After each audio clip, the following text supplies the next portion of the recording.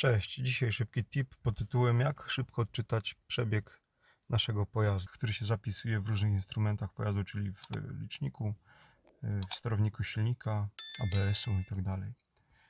Co musimy zrobić? Wybieramy skanowanie pojazdu, klikamy Start, chwilkę czekamy, wybieramy nasz pojazd, następuje skanowanie wszystkich sterowników Ogólnie mam wrażenie, że w najnowszej wersji poprawiona została szybkość działania programu, ale to może być moje subiektywne uczucie.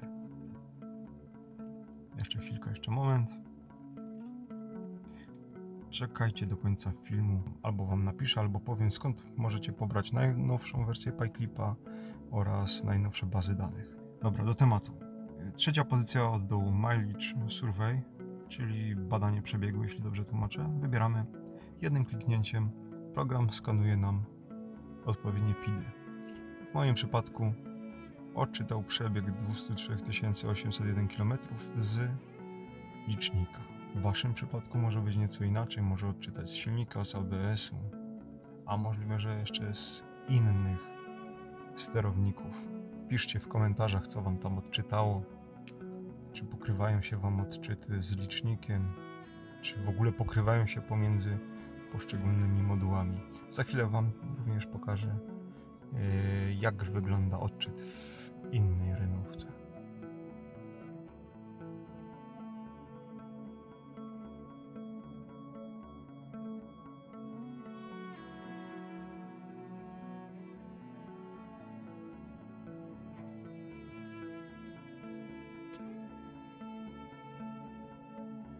Próbę przeprowadzimy na przykładzie scenika trójki, tak jak poprzednio, trzecia pozycja dół.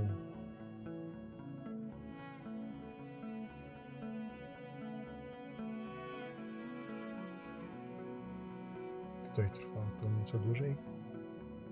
No jak widzimy, odczyt jest z sterownika silnika, sterownika ABS i licznika. Dzięki za wszelkie suby, za lajki. Na razie.